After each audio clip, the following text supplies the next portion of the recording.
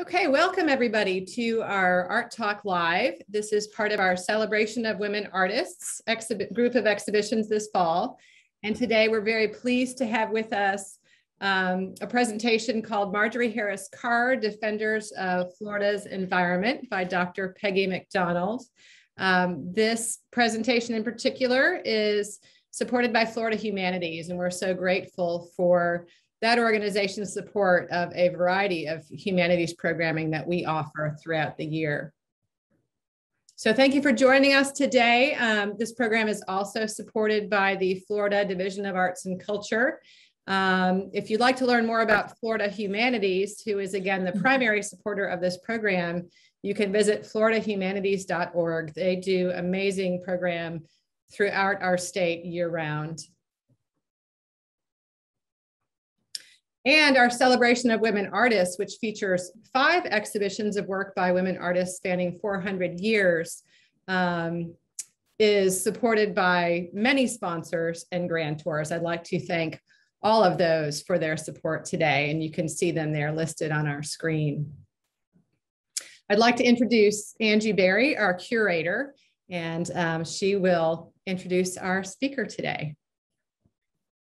Thank you, Grace. Um, before I we get to Dr. Macdonald's presentation, we really wanted to kind of uh, loop in a little bit of some of the artwork that we have on display. And as soon as I started reading about um, Marjorie Harris Carr, it really reminded me of an artist who's in our collection. Her name's Beth Appleton. She's also joining us on this call today. Thank you so much, Beth. Um, Beth has been in our collection since the beginning. This piece, Back to the Garden, is one of the first pieces uh, that was accessioned into the permanent collection at the Gadsden Arts Center and Museum. And it's created by this amazing um, process that Beth herself, um, oh, are we seeing the, I think the presentation may have gone away, Grace. Sorry, let me fix that. All right. Frankie. No worries. There we go. Anyways, Beth, um, it's back. Been, um, like I said, a part of our organization. She started the Art in Gadsden exhibition back in 1989, which eventually led to Gadsden Arts being um, created and incorporated and led to the Gadsden Arts Center and Museum today. So this piece right here um, is created with a process that Beth herself invented in 1989, uh, the same year. And it's a process where she takes watercolor paper, paints the watercolor paper these vibrant colors, and then takes an X-Acto knife and meticulously cuts out the shapes and then molds them and, and, and glues them in a way that make them just pop off of the canvas. It's or the the the paper. It is really amazing to be able to see it in person. The, the photos really just don't do it justice in terms of the 3d effect that you see this relief effect of her work. And this is a really large piece as well. Um, and is kind of dedicated to the work uh, to the people of Quincy. Um, let me look at my notes now. Where was I going? Um, so she started on this, and she also uh, in 1992 started on a series called Floridala. So Beth Appleton grew up in in Ocala and was really influenced by her environment a lot is mainly self-taught her appreciation at first um, for art and she's really always been inspired by the florida environment and you can really see that by the work um, on display here. So the floridala is the piece on the left and these are um, inspired by ancient the ancient uh, art form of the mandala where you create the circular form of repeating um, uh, images and she incorporates all the kind of iconic, iconic Florida images in these pieces. You can see the palm trees and frogs and lizards and things that we're all very familiar with living here in Florida. Um, and she also is, you know, is able to depict things that are kind of um, affecting our environment as well. On the right is Hurricane Charley. This was um, part of a series that she did about uh, hurricanes and kind of their destructive nature and how it really affects our environment. And you can see just the immense motion in this piece and feel that kind of um, gusty winds that we we know what they're like in the, when we have hurricanes but also just how much it affects our environment um, but you know in the last 10 years or so beth has been researching water, the water that surrounds her. So she lives on a tiny, um, on an island uh, called St. George Island off Apalachicola Bay, um, off the Gulf in Florida. And she's been researching um, the water by taking these hundreds of micrographic images collected from samples that she took. And so she then makes these kind of waterscapes depicting the tiny life forms and environments that she discovers from just one drop of water. And she really kind of views the estuary's tiniest inhabitants and incorporates them into her work, connecting the art and science. She was inspired by the shape of the diatom, which is those these shapes that you can see here, those kind of circular shapes um, or oval shapes this piece right here is from the collection of the artist. Um, it's called Rising Tide, and it's you know really to bring attention to the sea level rise. But a quote by Beth that I think is really interesting is she says, "If we can't see a thing, most likely we won't care for it. By being bringing this world we never see to light, I hope to bring focus to the lowest of life forms existing in our food chain. They are beautiful, fragile, and their health is vitally important to our own well-being." And so while Beth is exploring the bits of our environment that we can't see with the naked eye, Peggy Macdonald's going to tell us a little bit about another environmentalist, Marjorie Harris Carr. So Peggy is a public historian and an adjunct professor at Stetson University. She's a native Floridian, and Dr. Macdonald is a speaker with the Florida Humanities Florida Talks program. She's written about local and Florida history for Forum Magazine, Gainesville Magazine, Our Town Magazine, and in 2014, the University of Florida, uh, University Press of Florida published her first book, Marjorie Harris Carr, Defender of Florida's Environment. Dr. Macdonald is an alumna of University of Florida, where she received a PhD in American history. Welcome, Dr. Macdonald. Thank you. And I was just looking at that beautiful artwork and thinking how Marjorie Carr would have loved it uh, because she grew up in Florida, saw her share, fair share of hurricanes, and studied this, the flora and fauna. Um, I think she would have been a huge fan. And um, I'd like to uh, thank you first for inviting me. It's such a pleasure. And it's nice to have this virtual format where we have uh, people participating from around the state. I'm going to um, share my uh, slideshow so that you can get a look at Marjorie Harris Carr. So um, Marjorie Carr was the subject of my doctoral dissertation at the University of Florida, but she was a Florida State College for Women uh, grad. So um, definitely a good fit for this um, uh, exhibit in terms of a powerful woman of Florida, right? A pioneer in her own right. Um, and uh, Marjorie Carr was not born in Florida. However, she came here with her parents from Boston, Massachusetts, when she was two years old in 1918. And she was lucky because her parents were naturalists who taught her all about uh, Florida's flora and fauna, and she could identify thousands of species when she was a girl. In this picture that's over a, a century old, you could see Charles Harris teaching young Marjorie Harris um, how to identify seashells at Sanibel Island he built this cracker style home. And um, this is this was Marjorie's introduction to the world in tiny Bonita Springs. Now today, if you go to Bonita Springs, it looks more like South Florida. There's a, even a gigantic three-story Mercedes-Benz car with additional Mercedes-Benz parked on top. But when Marjorie was there, Bonita Springs, Springs was so tiny that there wasn't even um, a bridge yet uh, to the beaches, including at nearby Fort Myers, which was also still small.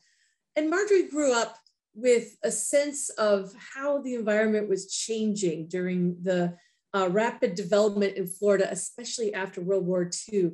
In this image from the early 1920s, you can see Marjorie in the middle holding an alligator hide. Now, um, Jack Davis, in his biography of Marjory Stoneman Douglas, another of Florida's three Marjories, wrote that by the 1880s, Florida had lost uh, roughly 2.5 million alligators uh, that were harvested for their skin.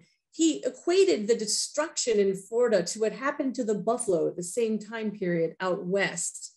Um, Marjorie here shown riding her uh, horse Chiquita, a descendant of Spanish horses that was caught wild on the Kissimmee Prairie. She um, was raised watching the glow of the Everglades burning in the summer when it was cleared for agriculture. Her parents taught her what a shame it was when the turpentine industry would um, work the trees to the point of death and then not replant them. Um, there was only a school that went up to the eighth grade in Bonita Springs. You could see Marjorie, the only girl in the bottom row. And when it was time to go to high school, they moved to Fort Myers so that she could attend high school, Fort Myers High School, where she graduated in 1932. And in her senior picture, she looks haunted. Um, her father died suddenly when he she was only 15 years old. Um, he died of uh, pneumonia, and she was a daddy's girl. Now, after losing her father, she wanted more than anything to go to college. That's what her daughter Mimi Carr told me. Mimi um, was childhood friends with my mother in Gainesville, and she let me scan these images from the Carr's family photo albums. And, I interviewed her uh, over a period of several years. Um, and she's really the record keeper uh, for uh, the Carr family. Now, when Marjorie Carr went to college, um, the, she was really the product of a society that wasn't quite sure what to do with college educated women. And this goes back to the turn of the 20th century.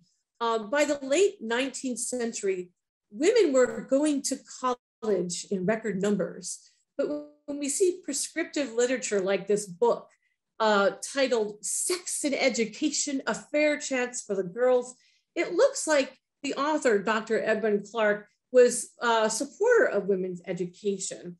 Actually, in the book, he talked about the perils of educating women, that when women go to college and study and think big thoughts, and uh, get into intellectual discussions that the blood is drained out of their ovaries into their brains and they become sterile. In this book, the doctor uh, actually talked about an autopsy where he wasn't present, where it was a case of death by college. Now, again, when we see this type of prescriptive literature, which was very popular, the book went through multiple editions, it's a sign that it's a reaction to what was going on a new trend where more and more women were going to college.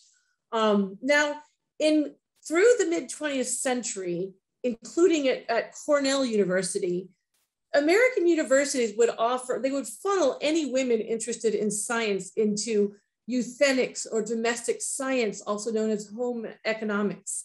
In this Cornell University laundry lab for college credit, you could see this, right? Scientific methods were applied to the best way to wash the laundry. Meanwhile, at Florida State College for Women, instead of a laundry lab, there were chemistry labs. Florida State College for Women was the only one of the Southern state colleges and one state college for women in Oklahoma that offered a choice of a rigorous academic degree, of a strong liberal arts tradition. In fact, Florida State College for Women, of course, now FSU, Florida State University, was the first state university to receive the Phi uh, Beta Kappa charter, the Alpha Charter, not University of Florida, which was then reserved for white men. Now, when Marjorie Carr, rather at the time, Marjorie Harris graduated from Florida State College for Women, she was a member of Phi Beta Kappa, the Sigma Xi Honor Society, and a charter member of the Florida Academy of Sciences. However, when she applied for admission to Cornell University to the ornithology program for graduate school, the director, Arthur Allen, told her point blank that women were not welcome in the field. Fortunately, during the Great Depression, the New Deal offered programs that some women were able to take advantage of. And Marjorie Harris became the first female federal wildlife technician at Welaka National Fish Hatchery. Through this position, she met the two great loves of her life. Um, and she was also able to work with whole live birds because the CCC had built uh, an aviary at the fish hatchery. Um, the first great love of her life that she met while working at Welaka was the Ocklawaha River. And in this postcard from the Matheson History Museum in Gainesville, you could see an old Hart Line steamer, the Hiawatha, the last of the Hart Line steamers, at nighttime with a giant torch to light up all the wildlife. Now, this was the snowbird era, right? Where uh, in reaction to Harriet Beecher Stowe's writing, uh, snowbirds came from the north to Florida to see the subtropical paradise up close, um, including at night. Um, well, the other great love of Marjorie Harris's life, she met when she took some sick quail to the University of Florida campus in Gainesville to use the lab equipment to test a theory. She met Archie Carr, who uh, they were married for 50 years and had five children together. And he became known as the, the world's turtle man, the leading turtle conservation biologist of, of his time. Um, when they um, when they met, they fell madly in love. However, when Marjorie Harris went, returned to work and shared her insights on uh, the sick quail she had taken to the lab, a coworker, a male coworker, all her coworkers were men, took credit for her discovery. She challenged him, and her boss, who was never comfortable working with a woman biologist, fired her instead of him. Now, this is during the Depression, right? And there were no jobs available. Um, Archie Carr was only making $40 a month and he wanted to marry Marjorie, but he couldn't afford to keep a wife. He pulled some strings and got her a job at the Englewood Zoological Research Supply. And here in this picture, you could see a 21 year old uh, Marjorie Harris Carr. Because of the expectation that um, a woman scientist would retire upon marriage, even though she was only 21, she had to conceal her marriage to Archie Carr. Meanwhile, at the lab, she learned to collect everything from cockroaches to alligators, and they were preserved and sent to the top universities in the Northeast. Um, fast forward to uh, during uh, close to the end of World War II, when Mar Marjorie and Archie were happily married, um, Marjorie had just had her second child. Archie took a job at an agricultural school in Honduras, and the whole family lived there for close to five years. Um, Marjorie was able to study birds. The family had, uh, they benefited from uh, cheap labor. They had a nurse, a cook, a laundress, a gardener. And here you could see Tina caring for the Carr's two oldest children, uh, Chuck on the left and Mimi on the right, dining by candelabra, which freed Marjorie to join her husband in the cloud forest, where she collected thousands of bird skins, including um, very rare species. Well, you could see her here. She's actually using a German dissection tool to stuff cotton into the birds until it came out of their eyeballs that's one of Mimi's first memories. You could see her looking uh, intently at what her mother is doing. Now, when the Carr family returned to uh, Micanopy, Florida, just 10 miles south of Gainesville, uh, they had grown to four children and added an um, unexpected fifth child uh, when they moved to Micanopy.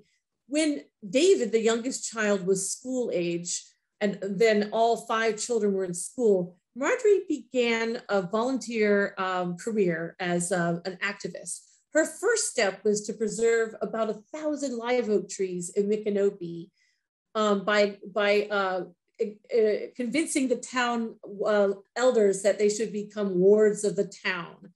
She moved into land preservation. And here you could see um, an image of Payne's Prairie, um, the turn of the 20th century, and there are these snowbirds. If you look carefully, the women are wearing black velvet collars, almost like uh, the women in Manet paintings. And they came to Florida for nature, right? To uh, examine firsthand these um, relatively undeveloped um, uh, portions of Florida. Payne's Prairie uh, was preserved after a decade of work by Marjorie Carr and other members of the uh, Garden Club. And it was transformed as much as possible back to what it looked like when William Bartram came through in 1774 uh, and what he wrote about in his book, uh, Travels. Now, another local gem that Marjorie Carr worked to preserve was Lake Alice on the University of Florida campus. In this picture from 1968, you could see that the lake was struggling. Um, this was due to the fact that UF did not yet have a sewage treatment plant and they were pumping all of the effluent from campus directly into the lake. The decision that UF and Florida Department of Transportation made with no public input was to partially drain the lake and build um, a four lane cross campus throughway and 2,000 car parking lot. Well, when Marjorie and Archie Carr and many of their um, colleagues from the UF Science Department heard about this, and uh, they, uh, working with other activists, challenged it. And after a period of a couple of years, the lake was preserved.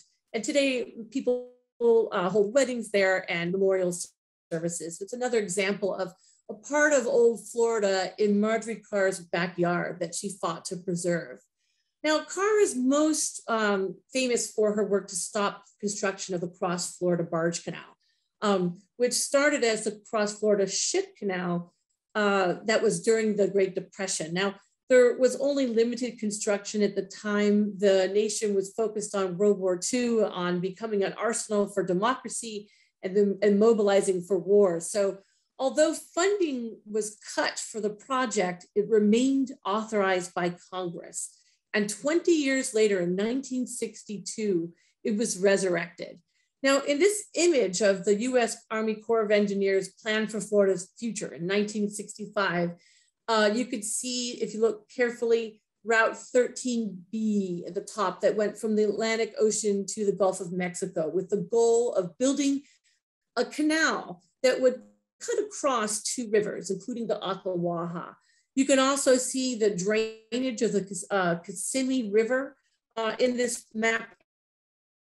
And of course, continued Everglades drainage with the view that nature was a set of resources for human use, right? And the Corps of Engineers uh, did not take the interest of the public in mind.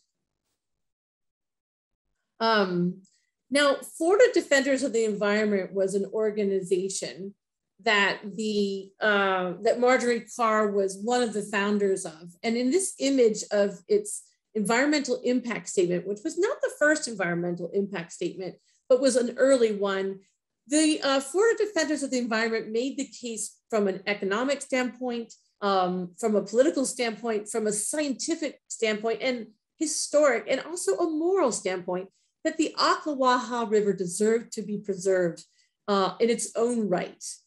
And the project um, was stopped, it was halted through a federal lawsuit and an executive order from President Richard Nixon in 1971.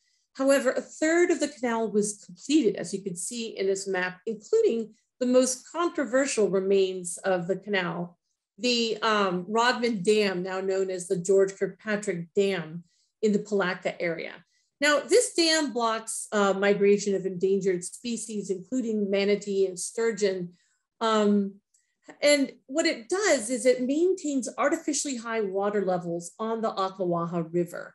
Uh, this is an artist named Margaret Tolbert, whose abstract expression, expressionist work captures the beauty of the springs. She's uh, pictured here painting a large uh, painting at Cannon Springs during a drawdown. So every three to five years, there is a drawdown of these artificially high water levels.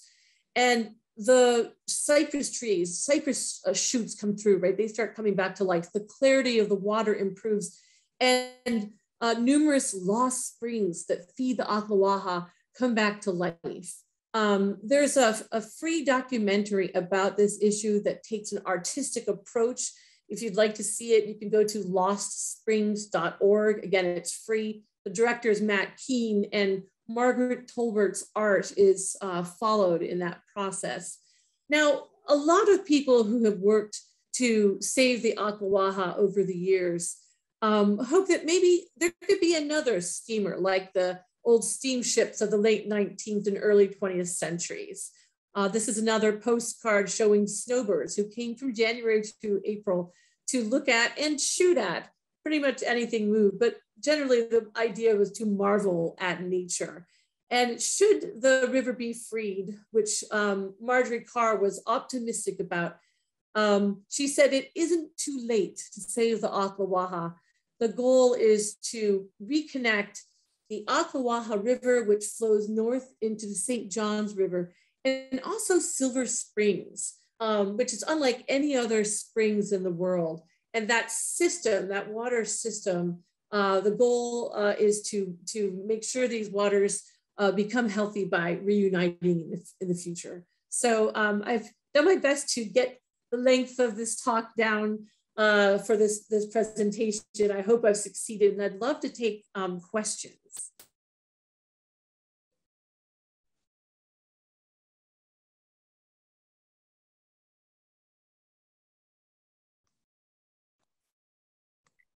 We have any questions, you can put them in the chat if anybody's got any questions.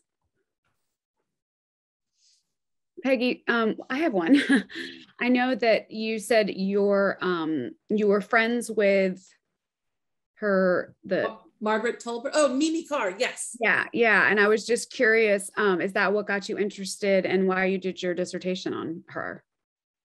I was really lucky. Jack Davis was um, one of the professors who um, I took his classes, and he was on my PhD committee.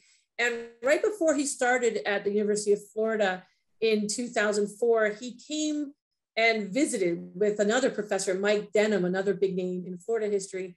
And he met with graduate students, PhD students, to talk about potential topics in Florida history. And one name he mentioned was Marjorie Carr.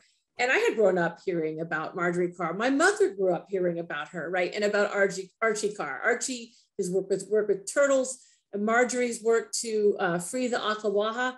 So it just seemed so close to home. And I was thrilled that that would be uh, considered a good topic for Florida history.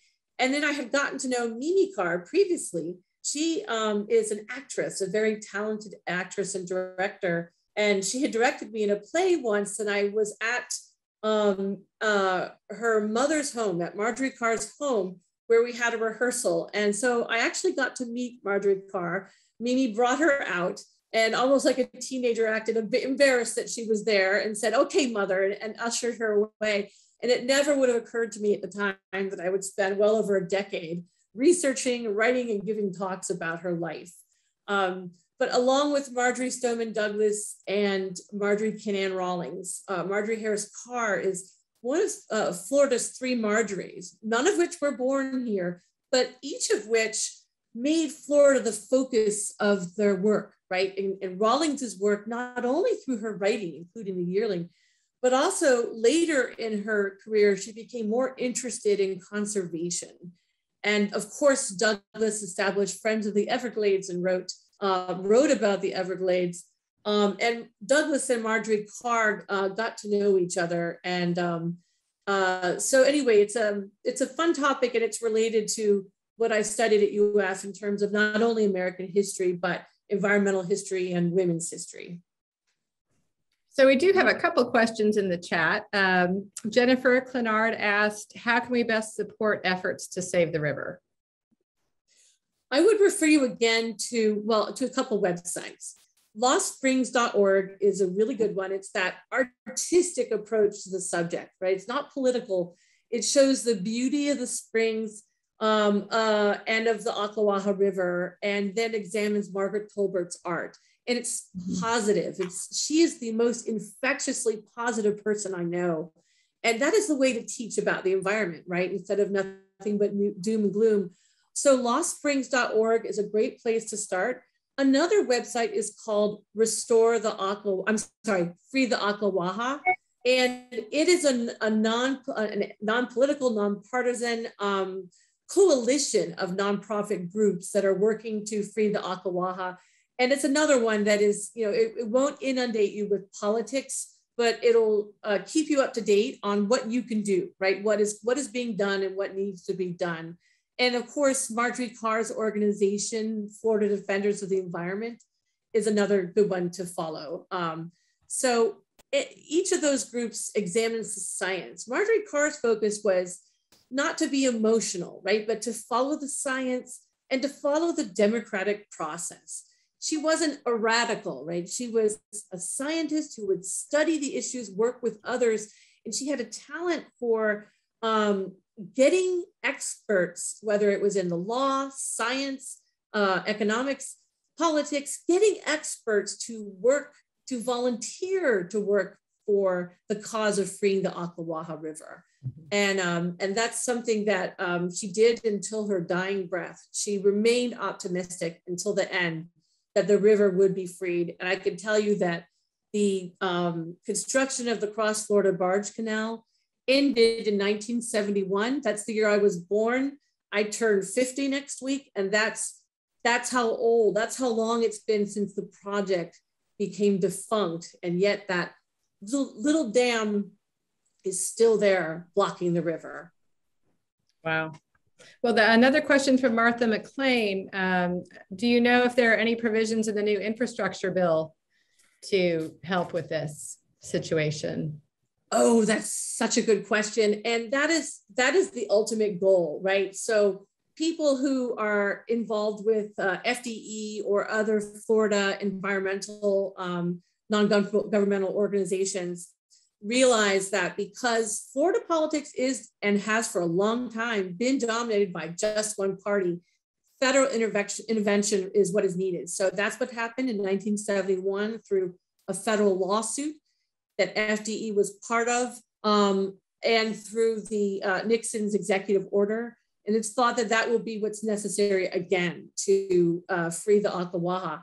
In terms of current funding for environmental topics, um, I would have to research that. That's a really good question. I'd like to see what sort of environmental um, cleanup or other sorts of issues might be included in the infrastructure bill. I'm not currently aware of them, but the bill kept changing. So um, I'm going to research that. I think it's a really good question. Okay, um, and another question, Marilyn Fever is wondering how long your normal presentation or usual presentation is, and are you available to speak with um, paddling groups, outdoors groups about this? Yeah, I have briefly spoken to Florida Paddle before at night at a, at a camp. Um, so I'm very flexible. My talk can go, usually it's 45 minutes, but I can tailor it to any, any length. And I love getting out and talking uh, to groups. It's, I find often that uh, paddle related groups are very passionate, right? When, especially those who are able to visit the Ocklawaha during a drawdown. Mm-hmm. Um, and if you'd like to see what that's like, again, that uh, lostsprings.org um, website where you can see the, the documentary Lost Springs. It's not your typical documentary, it's an artistic film. Um, but anyway, uh, so yeah, I'm definitely available. I love talking about uh, Florida and especially Marjorie Carr. Fantastic. Well, that was all the questions I saw in the chat. Angie, did you have any more questions for Dr. Macdonald? No, I think it was great. We just so appreciate you coming and you know introducing us to um, Marjorie's life and also just some of the kind of struggles that she had just for her gender. I know that's a theme throughout our exhibitions that we have. Um, the women artists, Four Centuries of Creativity, many of them face that as well. And so it's just interesting, even in the 20th century, to see how much that was still happening and, and not even in the arts, but in other um, fields as well. So. Absolutely. Yeah, she's she was an inspiration because because she was a woman, she was not able to pursue her career the way she wanted to. She couldn't get into graduate school uh, until she married another scientist, and Archie Carr helped get her in uh, to graduate school in zoology at UF. Um, but she she embarked upon her own career in science through environmental activism, and just remained positive and optimistic until the end. So um, Florida State College for Women was such a big part of that and you know living in Tallahassee. The education she got at what later became FSU was uh, what made her. Mimi Carr talked uh, extensively about that when I interviewed her. How, how much she wanted to go to college and how being at Florida State College for Women just made her. And I'd love to see, there is a history of Florida State College for Women, but I'd love to see more, um, more about that, right? I love Tallahassee and the university atmosphere, but um, you know, the, of course, it's the sense of a women's college. You'd have to really dig deeper to understand that history. Mm-hmm. Yeah. Absolutely. Well, thank you. Thank you so much, Dr. Macdonald. And Angie and I um, ask a favor of all of you who are on this session today. Um, it helps inform Florida Humanities um, regarding what programs to bring you, uh, what programs to support, if you would fill out the Florida Humanities Survey, it doesn't take very long. And Angie will be pasting a link in the chat. Um, we can also send it to you afterwards. Um, but Peggy, thank you. And I want to share with you um, a little bit more about what's coming up at the Gadsden Art Center Museum. Um, we do have another online presentation. This is another remarkable woman in our celebration of women artists. This is Renee Lewis, who is an Orlando painter whose Fauvist style work is about the lives of women. Um, that is online on December 2nd, and you can sign up for that on our website. It's offered free of charge. Um, and then we also continue our um, celebration of women artists here at Gadsden Arts through December 18th. So you can see behind me the uh, Women Artists Four Centuries of Creativity organized by the Reading Public Museum. So that is, as Angie mentioned, amazing, amazing stories of women, um, what they accomplished against various barriers and challenges in their um, artistic careers and in their personal lives and their influence on the world around them over 400 years.